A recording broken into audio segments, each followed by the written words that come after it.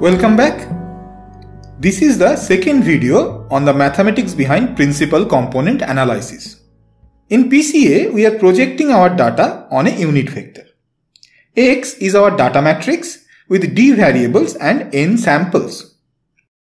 We want to project X on a unit vector U such that the variance of the projected data is maximum. In the last video, we learned that the dot product of X and U will give me the projection the projection is equal to x times u. The projected data is an n by 1 vector.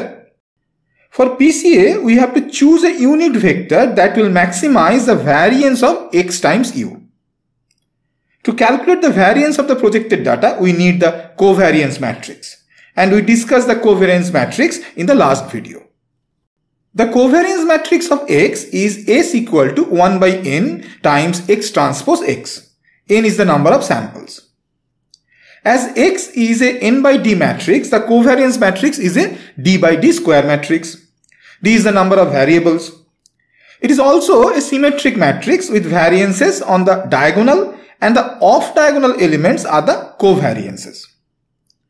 Remember that we use a centered matrix to calculate the covariance matrix. So by default, the data matrix X used in our PCA should be the centered data matrix. Now let me start the topics of the second video. I have to maximize the variance of XU.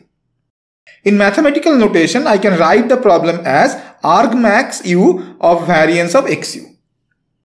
That is our objective function. I will use some sort of optimization technique for this objective function.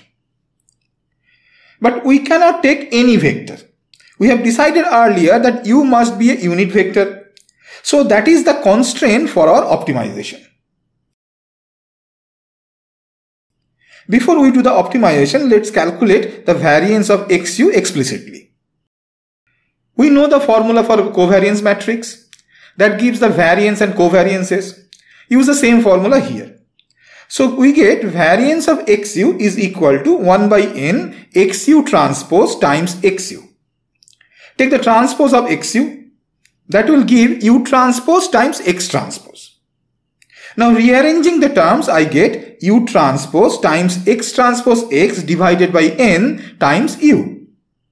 This x transpose x divided by n is equal to S, the covariance matrix of S. So variance of xu is equal to u transpose su. Now I reframe our objective function as I have calculated the variance explicitly. Now it is Argmax u of u transpose su. I will use the method of Lagrange multiplier for this problem. Lagrange multiplier is widely used in physics and engineering for constraint maximization and minimization. I will not go in details of this uh, particular method, but you should learn it. Lagrange multiplier is very useful technique. First, I have to write the Lagrangian function using the objective function and the constraint. Here is our uh, Lagrangian function. L of u lambda is equal to u transpose su minus lambda into u transpose u minus 1. The first component on the right hand side is the objective function. The second component is the constraint. It is written in an expanded form. Lambda is an unknown multiplier. Now I will differentiate both the side with respect to u. u is a vector, so it is a differentiation in terms of multivariate calculus. So the grad of L is equal to grad of u transpose SU minus grad of lambda u transpose u minus 1. Now set this equal to 0. We do the same when we maximize a function by differentiation. Let's do the differentiation. Notice that u transpose su is of quadratic form. You can write a quadratic equation in that matrix notation. So if I have x square by differentiation, I get 2x. Something similar should happen here on differentiation. I will use the formula the grad of x transpose cx is equal to c plus c transpose times x. Here we are differentiating with respect to x and c is independent of x. So using this formula, the grad of u transpose su is equal to s plus s transpose times u. Now the grad of lambda u transpose u minus 1. Lambda is just a constant. Using the logic of the same formula, I get the grad of lambda times u transpose u minus 1 is equal to 2 lambda u. After rearranging the terms, I get SU equal to lambda u. So I started our optimization with objective function and a constraint. And eventually we have got a relation SU equal to lambda u. This particular relation looks familiar, isn't it? Yes, by definition, lambda must be an eigenvalue of S and u must be the corresponding eigenvector we want to maximize the variance of our projected data. And our calculation says that the variance would be maximum when the unit vector is an eigenvector of the covariance matrix. S is a d by d square matrix. So it must have d eigenvalues and d eigenvectors. Now which one should I choose? It is easy to decide that. Variance of the projected data is equal to U transpose SU. Replace SU by lambda times U. U is an unit vector, so U transpose U is equal to 1. That means the variance is equal to lambda, the eigenvalue. We have d eigenvalues. Now arrange those in order. Lambda 1 is the largest one. The corresponding eigenvector is U1. So the data projected on U1 will have the highest variance. That means U1 is the principal component 1. Similarly, U2 is the eigenvector for lambda 2. The data projected on U2 will have the second highest variance. So U2 is our second principal component. Remember that the covariance matrix is symmetric. So all the eigenvectors of the covariance matrix must be orthogonal. That means PC2 is orthogonal to PC1. We have d variables.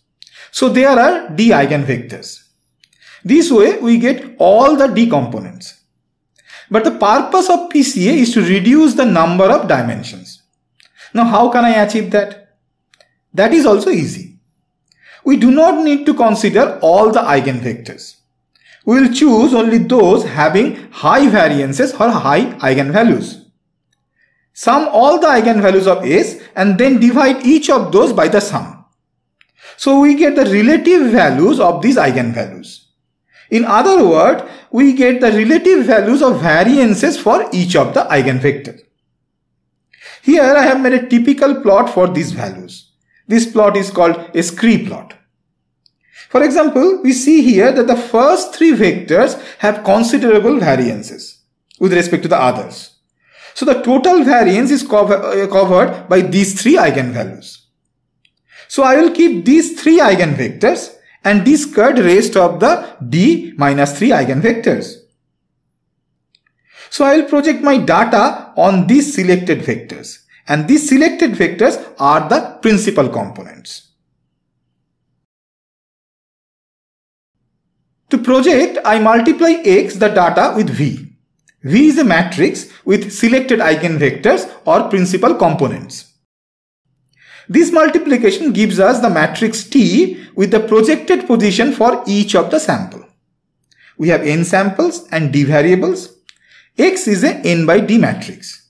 So T is a n by m matrix. Each row of this matrix has the coordinate of a sample projected on these m principal components. In PCA, T is called the scores matrix and V is called the loading matrix.